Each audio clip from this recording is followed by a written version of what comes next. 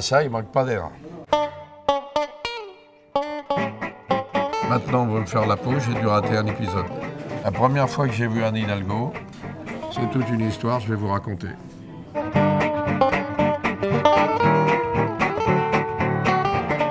Moi, je vais leur rafraîchir la mémoire.